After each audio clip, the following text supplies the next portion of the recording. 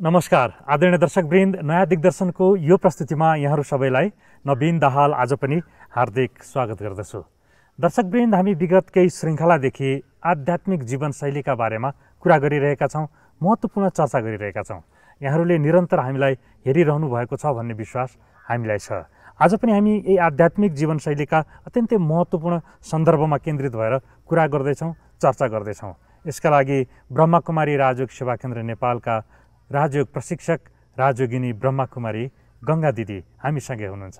आउनुहोस् उहाँलाई स्वागत गरौँ। दिदी आजको प्रस्तुतिमा पनि स्वागत छ। ओम शान्ति। ओम शान्ति। हामीले विगतका केही श्रृङ्खलामा आध्यात्मिक जीवनशैलीका अत्यन्तै महत्त्वपूर्ण विषयमा कुरा गऱ्यौँ चर्चा गऱ्यौँ जसले गर्दा हाम्रा दर्शकहरूलाई केही लाभ पुग्यो होला भन्ने लागेको छ। हामीले कहीँ कतै सुन्ने गर्छौँ कि यस्ता आध्यात्मिक चिन्तनहरू आध्यात्मिक दर्शनहरू ज्ञान गुणका कुराहरू सुन्नलाई असाध्यै आनन्द लाग्छ राम्रो लाग्छ सुनु सुनु लागिरहन्छ फेरि सुन्न पाए हुन्थ्यो भन्ने लाग्छ। तर जब व्यवहारमा उतार्ने बेला हुन्छ त्यतिखेर चाहिँ त्यो ज्ञान गुण सबै बिर्सिन बिर्सिन्छ भनिन्छ। अथवा कतिलाई सुनाउँदाखेरि अब कहाँ भन्न पो सजिलो हुन्छ त गर्ने बेला पो थाहा हुन्छ त भनेर उहाँहरूले भन्नुहुन्छ। साँच्चै यस्तो हुन्छ अथवा किन हुन्छ यस्तो यो सन्दर्भबाट आज चर्चा अगाडि बढाउँ पहिलो कुरा त आध्यात्मिक कुराहरू सुन्न मन पराउनु नै राम्रो पक्ष हो। किनकि जति हामी सुन्छौँ यो। सुनेको कुराहरू बाहिरी इन्फर्मेसनले हाम्रो मनमा एउटा चिन्तन सोचलाई पैदा गरिदिन्छ। त्यसैले सुन्नु पहिलो पक्ष राम्रो। दोस्रो कुरा कुनै पनि कुरा सुनेर त्यसलाई हामीले व्यवहारमा ल्याउनको लागि केही समय लाग्छ। यो त्यति छिटै भइहाल्ने सजिलै भइहाल्ने कुरा होइन तर सम्भव छ हुन्छ। जस्तो हातमा तिर कमान छ। कुनै एउटा टार्गेट छ। त्यसमा आफ्नो लक्ष्य प्राप्ति गर्नको लागि त्यो टार्गेट लिनुभन्दा अगाडि नै बारम्बार उसले अभ्यास गरेको हुनुपर्छ। अनि मात्र उसले आफ्नो त्यो लक्ष्यलाई प्राप्ति गर्न सक्छ। त्यस्तै हामीले पनि यो आध्यात्मिक ज्ञान चर्चा सुन्छौँ भने त्यो कुरा सुन्दै जाँदा सुन्दै जाँदा जतिखेर परिस्थिति आउँछ त्यति बेला हाम्रो त्यो भनेको टेस्टको बेला हो। परीक्षा। त्यति बेला चाहिँ हामीले प्र्याक्टिस गर्न लाग्नु हुँदैन। एउटा गाडी चलाउने ड्राइभरले चलाउनुभन्दा अगाडि नै कैयौँ सिकेको हुनुपर्छ। बिजी रोडमा जानुभन्दा अगाडि उहाँले सिकेको हुनुपर्छ। तब नै चलाउन सम्भव हुन्छ। तर के भइदिन्छ भने जति बेला हामीलाई चाहिन्छ त्यति बेला नै हामी त्यो कुरा खोज्छौँ। अनि सम्भव भएको जस्तो लाग्दैन। अधिकांश व्यक्तिहरूको के हुन्छ भने जस्तो मर्निङ वाक कोही हिँडिरहेको हुन्छ भने रोग लागिसकेपछि हिँड्नेहरूको सङ्ख्या प्रशस्त हुन्छ। कसैले आफ्नो प्रेसर कम गर्न होइन? कसैले आफ्नो चाहिँ सुगर कम गर्न कसैले आफ्नो वेट कम गर्न हिँडिराख्नु भएको हुन्छ। तर भोलि गएर वेट ब्यालेन्स भइरहोस् प्रेसर सुगर नहोस् भनेर मर्निङ वाक गर्नेको सङ्ख्या बहुत कम हुन्छ। त्यसैले अध्यात्म भन्ने कुरा के हो भन्दाखेरि हामीले बारम्बार एउटा अभ्यास गरिरहनुपर्छ। यो निरन्तर लगनशील भएर। फेरि यसलाई चाहिँ अलिकति गरिहाल्यो अनि यसको आउटपुट खोजिहाल्नु हुँदैन। केही समय जरुर लाग्छ। धैर्यता यसमा आवश्यक छ। असाध्यै जरुरी छ। र अध्यात्म भनेको के हो भने भित्रबाट हामीलाई नेचुरल्ली नै आफ्नो मौलिकतातिर फर्काउने हो। हामी त अहिले आफ्नो वास्तविकताबाट धेरै टाढा गइसकेका छौँ। शान्त रहने खुसी रहने प्रेम सद्भाव भन्ने कुरा हामीबाट पलायन भएर गइसकेको अवस्था दुर्लभ छ। दुर्लभ हुँदैछ। त त्यो संस्कारमा फेरि फर्काउनको लागि है। समय जरुर लाग्छ। मेहनत पनि लाग्छ। र यसमा लगनशील भएर बारम्बारको अभ्यासले र भित्रबाट एउटा चाहिँ लक्ष्यतिर उन्मुख भएर निरन्तर हामी गर्छौँ भने यो असम्भव छैन। र जति बेला परिस्थिति आउँछ त्यति बेला नै त थाहा हुन्छ। मैले गरिरहेको त्यो अभ्यास आयो कि। आएन भनेर। जस्तै एउटा पौडी खेल्न चाहनेलाई प्रशस्त उसलाई चाहिँ पानीमा गएपछि यसो गर्नुपर्छ हात यसरी खुट्टा यसरी भनेर जति सिकाइयो तर उसलाई पानीबाट जान नै दिएन भने रोकियो भने पानीमा जानै चाहेन भने उसले कहिले पनि त्यो पौडी खेल्न सफल हुन सक्दैन। त्यसैले आध्यात्मले के भन्छ भने भित्रबाट हामीभित्र भएका ती पोटेन्सियल इनर्जीहरूलाई के गर्ने? जागृत गर्ने। र जति बेला त्यो परिस्थिति आउँछ त्यति बेला हामी हेर्ने। ठिक छ। अहिले म सफल भएन। मैले नम्र भएर व्यवहार गर्न कसैलाई चाहेँ। म नरिसाइकन होइन कसैसँग व्यवहार गर्न चाहेँ। तर परिस्थिति आउँदाखेरि रिसाउन आयो त्यो संस्कार निस्क्यो। भित्र त छ नि त्यो संस्कार। बारम्बारको अभ्यास छ नि रिसाउने फेरि। त्यो निस्किन गइहालेछ भने पनि कमसे कम भित्र महसुस त छ नि। ए मैले रिसाउनु हुँदैन थियो। रिसाइहालेँ। भन्ने खालको एउटा फिलिङ त ल्याइदियो नि त। अब फेरि अर्को पटक म के हुन्छु? सफल हुन थाल्छु। यसैले हामीले हरेस खानु हुँदैन। हामी निरन्तर अभ्यास गर्छौँ र त्यो लक्ष्यप्रति हामी केन्द्रित हुन्छौँ र हामीले भित्र आफ्नो वास्तविकतालाई फर्किएर हेर्छौँ। हेर्नु पऱ्यो कि पहिलो कुरा? खालि हामी अरूलाई मात्रै हेर्न थालेर भएन कि एउटा ऐना देखिन्छ भने त्यो ऐनामा हामी अरूलाई हेर्दैनौँ। कसलाई हेर्छौँ? आफैलाई हेर्छौँ नि। आफ्नै मेकअप मिलाउँछौँ नि। त्यस्तै आध्यात्म एउटा यस्तो ऐना हो जुन ऐनाले हामीलाई भित्र देखाउँछ। कि हेर तिमीभित्र धैर्यता कति छ? सहनशीलता कति छ?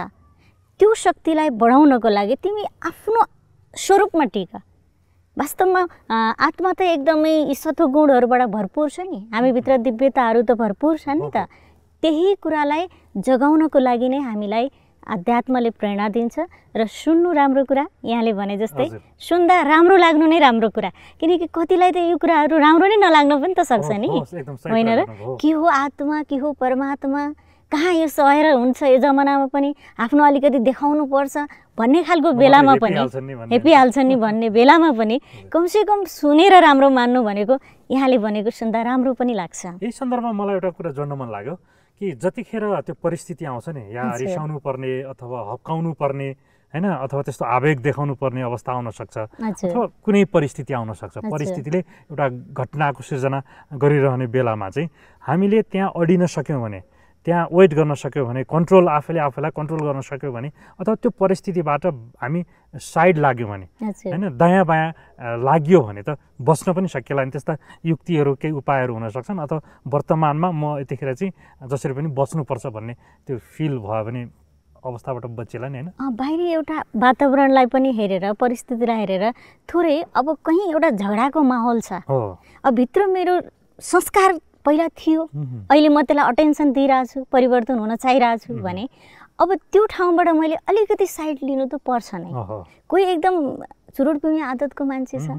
कसैले चाहिँ फेरि चुरोट पिइरहेको देख्यो भने त्यो फेरि पहिलाको संस्कारलाई त्यसले के गरिदिन्छ बुस्टअप गरिदिन्छ। अब त्यति बेला त्यो सङ्गठनबाट हामी हल्का साइड लाग्नु। अलिकति भित्र चिन्तनलाई परिवर्तन गर्नु। होइन? कुनै पनि समस्या आउँछ त्यही अल्झी राखेर त्यही पहिलाकै तरिका पहिलाकै विधि अप्नाउन खोजिरहेर सम्भावना अलिक कम हुन्छ। त्यसमा युक्तिहरू त अपनाउनु युक्तिहरू। त अप्नाउनै पर्छ। जस्तो यहाँलाई थाहा छ एउटा कछुवा हुन्छ। सबभन्दा धेरै वर्ष बाँच्ने भनिन्छ। तिन सय कति वर्ष बाँच्छ भनिन्छ त्यसलाई। किनकि कछुवाले के गर्ने रहेछ भने जब खतरा देख्छ नि आफूलाई त्यो आफ्नो कडा खोलभित्र सुरक्षित। राखेको हुन्छ। त्यसैले भनिन्छ हात्तीले कुल्चिँदा पनि कछुवा फुट्दैन त्यो उसको खोल। फुट्दैन मर्दैन भनिन्छ। तर एउटा यस्तो पन्छी छ जसले कछुवालाई अ, शिकार बनाउँछ। अरू कुनैले पनि उसलाई शिकार बनाउन सक्दैन के गर्दो रहेछ भने एउटा बाज भन्ने पन्छी हुन्छ सायद यहाँलाई थाहा छ के गर्ने रहेछ भने उसले त्यो कछुवालाई टपक्क टिपेर। माथि लिएर जाने रहेछ अनि धेरै माथि पुगिसकेपछि माथिबाट उसले फ्याँकिदिँदो रहेछ। अब फ्याँकिदिएपछि के भयो? त्यो जोडले आएर ठक्कर लागेपछि त खोल त फुट्यो। फुट्यो फुटेपछि उसले त्यसलाई शिकार सजिलै गर्दो रहेछ। त्यस्तै हामीले पनि कुनै परिस्थिति आयो हामी त्यसबाट बच्न चाहन्छौँ। आफ्नो संस्कारलाई बचाउन चाहन्छौँ। भने हामी त्यहीँ अल्झिरहने त्यहीँ वाद विवाद गरिरहने त्यही कुरामा पक्ष विपक्ष लिइरहने त्यहाँ सम्भव हुँदैन। हामीले त्यहाँबाट के गर्नु पर्यो? आफूलाई अलिक माथि उठाउनु पर्यो। ओहो, आध्यात्म भनेकै एउटा उचाइमा जाऊ। मेरो तेरोबाट पक्ष विपक्षबाट अलि माथि जाऊ भन्छ कि कि त भित्र जाऊ होइन? कि त माथि जाऊ। हामी एकदम अन्तर अवस्थामा हाम्रो भित्री अवस्थामा लुकेपछि के भयो त भन्दा त्यो शक्तिहरू हामीभित्र जागृत हुने भयो। त्यसपछि हामी स्व- स्वाभाविक स्वतः बच्न सक्छौँ। दिदी हामी आध्यात्मिक जीवनशैलीका बारेमा महत्त्वपूर्ण चर्चा गरिरहेका छौँ। अर्को एउटा जिज्ञासा रहेको छ यो समाजतिर यतिखेर ध्यान गइरहेको छ विश्वतिर ध्यान गइरहेको छ। विश्व परिवेश अहिले जुन रूपमा छ हाम्रो समाज जुन रूपमा छ जसरी अगाडि बढिरहेको छ यसलाई हामी सकारात्मक रूपमा प्रस्तुत गर्न सकिरहेका छैनौँ। सन्तोष मान्ने अवस्था छैन। समाजमा अथवा विश्वभरि अत्यन्तै हत्या हिंसा बलात्कार विकृति विसङ्गतिहरूको असाध्यै ठुलो प्रभाव परेको छ। यस्तो अवस्थामा यो आध्यात्मिकताले के सहयोग गर्न सक्ला? अथवा एउटा व्यक्ति अथवा समुदायलाई अथवा त्यस्ता वर्गलाई चाहिँ आध्यात्मिक प्रभाव पर्यो भने यस्ता विकृति विसङ्गतिहरू दूर हुन सक्छन् अथवा कम हुन सक्छन् नियन्त्रण गर्न सकिन्छन् अथवा जे जे भइरहेका छन् नि ती चाहिँ आध्यात्मिकताको प्रभाव नपरेको कारणले चाहिँ यति विकराल अवस्थाको जागृत भइरहेको हो भन्ने जिज्ञासा आइरहेको छ। जरुर यो त यो अहिले समय यस्तै खालको भनिन्छ नि कली। यो समय भनेको अत्यन्तै मान्छे आफ्नो विकार विकृतिबाट बच्न चाहेर पनि बच्न सकिरहेको अवस्था छैन। कुनै पनि व्यक्ति चोरी गर्छ। या कसैमाथि पिटपाट गर्छ कसैको हिंसा गर्छ यहाँले भने जस्तै दुर्व्यवहार गर्छ। अनैतिक कार्य गर्छ। त त्यो गर्ने व्यक्ति पनि भित्रबाट चाहिँ गल्तीको महसुस गरिरहेकै हुन्छ क्या उसले। पश्चात गर्ला। तर सुरुमा त ऊ त त्यसो हो। त्यो क्षणमा उसले आफूलाई कन्ट्रोल गर्न सकिरहेको अवस्था हुँदैन। उहुँ, अध्यात्मले के गरिदिन्छ भन्दाखेरि भित्रबाट हाम्रो जुन फिलिङ हो हाम्रो जुन इमोसन हो त्यसलाई पोजिटिभ बनाइदिन्छ कि? हाम्रो भित्रको जुन एनर्जीलाई नै के गरिन्छ? बदलिदिन्छ. जब मान्छे एउटा हातमा चक्कु छ कुनै कुरा त्यस्तै चल्दै गयो वाद विवाद हुँदै गयो अब उसले एकदमै भित्रबाट चाहिँ के गर्छ? क्रोधको फिल गरेर आउँछ। त्यो क्रोधले उसको त्यो ब्रेनमा एउटा चाहिँ नेगेटिभ इमोसन क्रिएट गरिदिन्छ। त्यसपछि त्यो चक्कु उसले कहाँ हान्छ कसलाई हान्छ त्यो पत्तो हुँदैन। त्यो भनेको उसले आफूलाई भित्र आफ्नो इमोसन्सलाई कन्ट्रोल गर्न नसक्नु। आफूलाई हातमा लिन नसक्नु। त अध्यात्मले सदा हामीलाई के गर्छ? सकारात्मक बनाइदिन्छ। कसैप्रति पनि विकार विकृति भन्ने चिज पनि हामी आत्माको स्वगुण होइन क्या यो। हाम्रो मौलिक गुण होइन यो। यो बाहिरबाट हामीले कर्म गर्दै जाँदा विकार विकृतिको वशमा पर्दै जाँदा भएका कुरा हुन्। सबभन्दा पहिलो कुरा के हुँदो रहेछ भन्दा कोही व्यक्ति यस्तो विकार विकृतिहरूबाट कुलतमा एकदम फसेको छ भने ऊ एकदम कमजोर छ। एउटा कुरा हामीले थाहा पाउनुपर्ने के रहेछ भन्दा ऊ आत्मबलबाट भित्रबाट ऊ एकदम कम छ कमजोर छ। आन्तरिक अवस्था उसको नाजुक छ। नाजुक छ। आत्मारूपी ब्याट्री एकदम डिप्लिट अवस्थामा छ। अब आध्यात्मले गर्ने के त? भन्दाखेरि त्यो आत्मालाई रिचार्ज गरिदिने। शक्तिशाली शक्तिशाली बनाइदिने। हजुर हजुर ऊ भित्र कैयौँ शक्तिहरू छन्। त्यो शक्तिलाई चार्ज गरिदिएपछि के हुन्छ भने त्यो आत्मा स्वतः पहिला महसुस गर्न थाल्छ। ओहो मैले के गरेँ? म किन यस्तो भएँ। सबभन्दा पहिला त महसुस त चाहियो नि।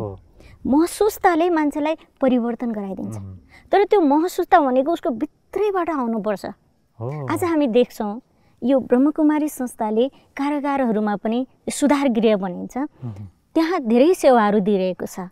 त्यहाँ हुने व्यक्तिहरू पनि। विभिन्न कुलतबाट विभिन्न विकार विकृतिहरूको कारणले या कोही यत्तिकै निर्दोष पनि हुनुहुन्छ कोही दोषी पनि हुनुहुन्छ उहाँहरू त्यहाँ पढ्नु भएको हुन्छ। जो दोषी छ उसले त बदलाको भावना राख्ने नै भयो। उहाँसँग त दोषी व्यक्तिसँग त विकार विकृति छ नै। अब महसुस गर्ने शक्ति त कमै हुन्छ। अब म यहाँबाट गएपछि झन् यस्तो गर्छु भन्ने हुन्छ। जो। निर्दोष व्यक्ति हुन्छ उसले झन् बदला चाहन्छ. किनकि म निर्दोष हुँदाहुँदै फलानुले मलाई यस्तो गर्यो। म गएर उसलाई होइन? बरु फर्केर आउनु परोस् बरु म दसैँ वर्ष बस्नु परोस् मैले उसलाई सक्छु सिद्ध्याउँछु भनेको हुन्छ। हामीले त्यस्तो व्यक्तिहरूसँग प्रत्यक्ष यो ज्ञानको लेनदेनमा के महसुस गऱ्यौँ भने उहुँ, उहाँहरूले ती व्यक्ति जो व्यक्तिको माध्यमद्वारा उहाँ त्यहाँ आइपुग्नु भएको छ उहाँले यस्तो हार्डली यस्तो आँखाबाट आँसु झारेर भन्नुहुन्छ कि। मलाई उहाँले यहाँ ल्याउनु भनेको मलाई आध्यात्मिक व्यक्तित्व विकास गराउनको लागि यो आध्यात्मिकतासँग जोड्नको लागि मलाई उहाँले यस्तो एउटा निमित्त बन्नुभयो जुन कुरा मेरो जन्माउने बाबुआमाले दिन सकेन त्यसलाई पनि अवसरको रूपमा लिनुभयो अवसरको? रूपमा लिनुभयो। र उहाँहरू अहिले हामी उहाँहरू जेलबाट निस्किसकेपछिको उहाँहरूको क्रियाकलाप पनि हामीले हेर्छौँ। उहाँहरू निरन्तर यो आध्यात्मिक सत्सङ्गमा जाने यो संस्थामा आउने मेडिटेसन गर्ने र उहाँहरूप्रति एकदम कृतज्ञता देखाउने अनि समाजमा उहाँहरूको माध्यमद्वारा अब हेर्नुहोस् न कसैले नजर त के देखिरहेको हुन्छ? यस्तो गर्यो गयो जेल उहाँहरूको माध्यमद्वारा बाहिर पनि बहुत ठुलो सेवा भइरहेको अवस्था छ। त्यसैले यो सबै विकार विकृतिहरू हुने भनेको के त भन्दा आत्माको मूल शक्ति जागृत नहुनु। बाहिरको अवगुणले यो। देहका अनेक कमजोरीहरूले त्यसलाई ढाक्नु हो। त्यसैले आध्यात्मले अहिले यो कार्य गरिरहेको छ। यहाँले पनि यसो हेर्नुहोला जो व्यक्ति यो संस्थामा जुटेको छ जसले दैनिक लगनशील भएर लागेको छ त्यो व्यक्तिले कसैमाथि पनि थोरै बोली मात्रै पनि तलमाथि भयो भने फिल गरेको हुन्छ ओहो मैले आज उहाँको चित्त दुखाएँ। मैले उहाँसँग गएर फेरि सरी भन्नै पर्छ। मैले उहाँलाई खुसी बनाउने मेरो कर्तव्य हो किनकि मैले दुखी गराएँ। यस्तो सूक्ष्मतामा गएर उहाँहरूले आफूलाई परिवर्तन गरेको प्रशस्त हामी पाउँछौँ। यहाँले यो महत्त्वपूर्ण सन्दर्भ उठान गर्नुभयो।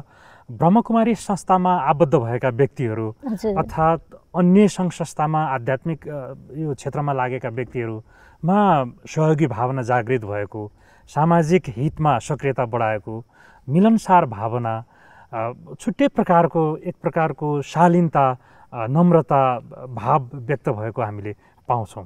अनि कता कता जिज्ञासा पनि लागेको छ। हजुर। ब्रह्मकुमारिजमा आबद्ध भएका अथवा ओम शान्ति परिवारमा सम्बद्ध भएका दाजुभाइ दिदीबहिनीहरू लगायत आध्यात्मिक क्षेत्रमा लागेका व्यक्तिहरूलाई के कुराले मोटिभ गर्यो जागृत गर्यो प्रेरणा दियो होला। यसरी उनीहरू चाहिँ हामीभन्दा फरक भयो भन्ने लागेको हुन्छ। यी आध्यात्मिक ज्ञान आध्यात्मिक चिन्तन नै हो कि अथवा त्योसँग अरू के के कुराहरू हुन सक्छन्? सबभन्दा पहिलो कुरा त ज्ञान नै ठुलो कुरा हो। होइन? पहिला त समझ हुनु पर्यो बुझ्नु पर्यो कि म को हुँ मैले गर्नुपर्ने के हो म बन्नुपर्ने कस्तो हो? त्यो पहिलो कुरा त नलेज नै ठुलो कुरा छ यहाँ जो आउनुहुन्छ उहाँहरूलाई हामीले पहिला सबभन्दा पहिला एउटा बेसिक नलेज हामी कोर्सको रूपमा दिने गर्छौँ। त्यो सात दिन पाँच दिन होइन? पन्ध्र दिन जति पनि हुनसक्छ। कतिलाई यो भ्रम हुन्छ कि सात दिन नै किन? सात दिनभित्रमा केही गरिदिने हो कि फेरि? होइन? केही डराउनुहुन्छ सात सात दिन किन सात दिन भनेको के हो भने जस्तो। एउटा भ्रम हुन्छ त्यस्तो होइन। अनुकूलता हेरेर कसैलाई समय फुर्सद कस्तो छ? पहिला एउटा चाहिँ बेसिक कोर्स हुन्छ। हामीले सबभन्दा मूल कुरा के गर्छौँ भने मेडिटेसनतिर फोकस गर्छौँ। हामी भित्रै छ क्या सम्पूर्ण कुराहरू। त्यो कुराहरूलाई जगाउनको लागि हामीले पहिला आत्मा के हो परमात्मा के हो कर्म के हो कर्मको फल के हो होइन। जन्म के हो मृत्यु के हो यो संसार चक्र के हो यी कुराहरूको महसुस त गराउँछौँ। उहाँहरूसँग के कुराले को कमी छ? उहाँहरूलाई कुन कुराले दुःख दिएको छ? कुन संस्कारको भसीभूत हुनुहुन्छ। उहाँहरूले पनि फेरि हामीलाई सेयर गर्नुहुन्छ। अनि त्यही कुराहरूको लेनदेन भइसकेपछि त्यही संस्कारलाई बदल्न चाहेपछि फेरि कुन चाहिँ मुख्य टिप्सहरू चाहिन्छ हामी उहाँहरूलाई दिने गर्छौँ। र उहाँ आफैले आफूभित्र रहेका ती सम्भावित शक्तिहरूलाई ती कलाहरूलाई ती गुणहरूलाई मेडिटेसनको माध्यमद्वारा जगाउनुहुन्छ। र लक्ष्य नै के हुन्छ भने म बदलिनु छ। मैले एउटा देवतुल्य दुनियाँको स्थापना यही धरतीमा गर्नु छ। यो दानव जस्तो दुनियाँको यो एउटा अत्यन्तै भयावहको दुनियाँलाई बदल्नु छ भन्ने एउटा चाहिँ लक्ष्य रहन्छ। त्यो लक्ष्य रहेपछि लक्षण स्वतः आउने गर्छ। अत्यन्तै सेवा भाव देखिन्छ कि उहाँहरूमा। आफूलाई बिर्सेर अरूप्रतिको ध्यानकर्षण उहाँहरूको भएको हुन्छ। अर्को व्यक्तिलाई बढी सेवा गर्न पाए हुन्थ्यो अर्को व्यक्ति खुसी भयो हुन्थ्यो अर्को व्यक्तिलाई कसरी सजिलो बनाउन सकिन्छ भन्ने भावना चाहिँ स्वतः जागृत भइरहेको त्यो व्यवहारबाट हामी प्राप्त गर्छौँ। यो। सबैमा यस्तो लागु हुन्छ कि केही सीमित व्यक्तिहरूमा मात्रै हुन्छ यो आध्यात्मिक जीवनशैली अप्नाउनेहरूमा? यसमा यस्तो हुन्छ सबै एकै त एउटै आमाले जन्माएको छोराछोरी पनि हुँदैनन्। कुनै स्कुल बोर्डिङ एकदम नाम कमाएको छ। तर सबै विद्यार्थीहरूले एउटै लेभलमा पास गर्छन् एउ त्यति नै पर्सेन्टेज ल्याउँछन् भन्ने पनि हुँदैन। यहाँ पनि के छ भने कतिसम्म बुझ्न सक्ने क्षमता छ। लागु पनि गर्नु र कति लागू गर्न सक्नुहुन्छ कति अटेन्सन दिन सक्नुहुन्छ। त्यो चाहिँ हरेकको आफ्नो आफ्नो फरक हुन्छ। अघि भन्नुभयो नि हजुर। मेडिटेसन अ, द्वारा हामी मानिसमा उनीहरूको आन्तरिक शक्तिलाई जागृत गर्छौँ र त्यस शक्तिको प्रतिफल चाहिँ उहाँहरूले बाहिर देखाउनुहुन्छ भन्नुभयो। एउटा व्यक्तिले निरन्तर मेडिटेसनमा आफूलाई समर्पित गरिरह्यो भने सायद त्यो शक्ति प्राप्त गर्ने होला। मेडिटेसनमा पनि भर पर्छ। जरुर। यो त मेडिटेसनले त भित्र महसुस त गराउने हो नि भित्रको शक्तिलाई जगाउने। प्लस परमात्मासँग एउटा कनेक्सन जोडेर एउटा सोर्स हो नि त शक्तिको। उहाँसँग एउटा सोर्ससँग एउटा कनेक्सन भएपछि आत्मामा त्यो शक्ति पनि रिचार्ज हुने भयो। हामी आत्मामा पनि शक्ति छ नभएको होइन तर ती शक्तिहरूलाई थप ऊर्जा हामीलाई एउटा परम शक्तिबाट जुन परमात्माबाट हामीलाई मिल्न जान्छ र त्यसको लागि त असाध्यै लगनशील भएर र असाध्यै इच्छुक भएर लाग्नुपर्ने हुन्छ। र यसको लागि पहिलो सुन्नुपर्ने हुन्छ त्यसपछि त्यो कुरालाई मनमा गुन्नुपर्ने हुन्छ। मह्म, अनि त्यो मनमा चिन्तनमा आएको कुरालाई प्र्याक्टिकलमा ल्याउनको लागि। हामीलाई मेडिटेसन चाहिन्छ। त्यसैले सुन्न आउनेहरू मात्रै बदलिनुहुन्छ भन्ने पनि छैन फेरि। अब सुनेको कुराले कतिसम्म बदल्ने? होइन कति कति दिनसम्म चेन्ज? एउटा सुन्नु भनेको त एउटा कस्तो भयो नैतिक शिक्षा। जस्तो मात्रै भयो कि। चोरी गर्नु हुँदैन रिसाउनु हुँदैन झगडा गर्नु हुँदैन। यो त हामीले टिभीबाट पनि सुनिरहेको हुन्छौँ कयौँ अब सङ्घ संस्थाहरूबाट पनि यी कुराहरू आइरहेको हुन्छ। कयौँ धार्मिक क्षेत्रहरूबाट पनि यी कुराहरू आएका हुन्छन्। तर खास मूल कुरा ती कुराहरूको नैतिक शिक्षाको साथसाथमा होइन चारित्रिक उत्थानका कुराहरूको साथसाथमा मुख्य कुरा रहन्छ मेडिटेसन। परमात्मासँगको सोर्ससँगको कनेक्सन र भित्रको सेल्फ रियलाइजेसन भनेपछि हामी अधिकांश रूपमा जस जसलाई सेवा भावको रूपमा हामी देखिरहेका छौँ। उहाँहरूको अगाडिको अवस्था अर्कै थियो जब पछि ब्रह्मकुमारीसँग उहाँहरू आबद्ध हुनुभयो यहाँले भने जस्तै सात दिनको कोर्स उहाँहरूले गर्नुभयो र त्यसपछि निरन्तर मेडिटेसनमा उहाँहरू सहभागी हुनुभयो। भने उहाँहरूको पहिलाको जीवन र पछिल्लो जीवनमा बिल्कुल परिवर्तन हुने हो बिल्कुल फरकपन आउने हो त्यस्तो हुनसक्छ? परिवर्तन भन्नाले यो कस्तो भन्दा मैले अघि नै हजुरलाई भने आफ्नो वास्तविकतातिर फर्किने। जुन रूपमा हुनुहुन्थ्यो। होइन। उल्टो हिँडिरहेको छ भने सुल्टो हिँडाउने उसलाई। सहजसँग। सकारात्मक यात्रामा अगाडि बढाउने? उसको आफ्नो वास्तविकतातिर फर्काउने। यसबाट धेरैले भन्ने पनि गर्नुहुन्छ। यहाँले पनि सायद सुन्नुभएको होला। फलानु यस्तो थियो यस्तो गर्थ्यो यस्तो खान्थ्यो यस्तो गर्थ्यो होइन? अहिले यस्तो देखिन्छ। हो त्यहाँ यस्तो हुन्छ तर मलाई समय पुगेको छैन। तर मैले त अलि सक्दिनँ कि होइन? मेरो त यस्तो आदत छ। मैले यो छोड्न सक्दिनँ कि भनेर कति पछाडि पर्नुभएको पनि हुन्छ। तर वास्तवमा के हो भने हामीले आँटौँ हामीले गरौँ सबै कुरा एकैचोटि गर्न खोज्ने होइन। बिस्तारै बिस्तारै स्टेपली हामी गर्दै गर्दै जाउँ। एक दिन हामी सफल हुन्छौँ एकजना होइन दुईजना होइन यहाँ हेर्नु होला हरेक क्षेत्रको व्यक्तिहरू आउनुभएको हुन्छ। यो होइन कि कोही साह्रै दुःख परेर आउनुभयो साह्रै कुनै आदतले बसीभूत भएर आउनुभयो होइन। यहाँ आउने व्यक्तिहरू विभिन्न प्रकारको हुनुहुन्छ। कोही डक्टर हुनुहुन्छ कोही इन्जिनियर हुनुहुन्छ कोही कुनै व्यवसायमा हुनुहुन्छ कोही अफिसर हुनुहुन्छ होइन कोही सर्वसाधारण व्यक्तिहरू हुनुहुन्छ। यतिसम्म कोही अनपढ वृद्ध व्यक्तिहरू पनि हुनुहुन्छ। तर उहाँहरू सबैलाई हजुरले भेटेर पनि सोध्न सक्नुहुन्छ। हेर्न सक्नुहुन्छ उहाँहरूको जीवनमा आमूल परिवर्तन आइरहेको छ। हुन्छ अत्यन्त सुन्दर चर्चा आज हामीले गऱ्यौँ यो विषयलाई हामी निरन्तरता दिनेछौँ आउने प्रस्तुतिमा फेरि हामी चर्चा गर्नेछौँ। एउटा सामान्य जीवनशैली अप्नाइरहेको व्यक्ति असाधारण जीवनशैली कसरी अप्नाउन सक्छ? एउटा राम्रो व्यवस्थापकीय क्षमता कसरी प्रदर्शन गर्न सक्छ? आफ्नो व्यवसायमा भन्ने विषयमा केन्द्रित भएर आगामी प्रस्तुतिमा हामी चर्चा गर्छौँ। आजको लागि यो महत्त्वपूर्ण समय दिनुभयो। यहाँलाई धेरै धन्यवाद। ओम शान्ति। ओम शान्ति। आदरणीय दर्शकवृन्द आजको प्रस्तुति यहाँहरूलाई कस्तो लाग्यो? पक्कै पनि यहाँहरूले हामीलाई प्रतिक्रिया दिनुहुनेछ। हामी आध्यात्मिक जीवनशैलीका बारेमा महत्त्वपूर्ण चर्चा गरिरहेका छौँ। आउने प्रस्तुतिमा पनि हामी यसलाई निरन्तरता दिनेछौँ कि एउटा व्यक्ति जो आफ्नो व्यवसायमा संलग्न छ सहकार्यको यात्रामा अगाडि बढेको छ उसले त्यसलाई कसरी सफलतापूर्वक अगाडि बढाउन सक्छ एउटा सक्षम र सफल व्यक्ति अथवा व्यवस्थापक कसरी बन्न सक्छ भन्ने विषय मार्फत आगामी प्रस्तुतिको चर्चा हामी गर्नेछौँ। आगामी नयाँ दिग्दर्शनमा यहाँहरू सबैलाई आग्रह गर्छौँ हेर्नको लागि। यो अनुरोधसँगै आजको प्रस्तुतिबाट नवीन दाहाल बिदा हुन्छु। नमस्कार धन्यवाद।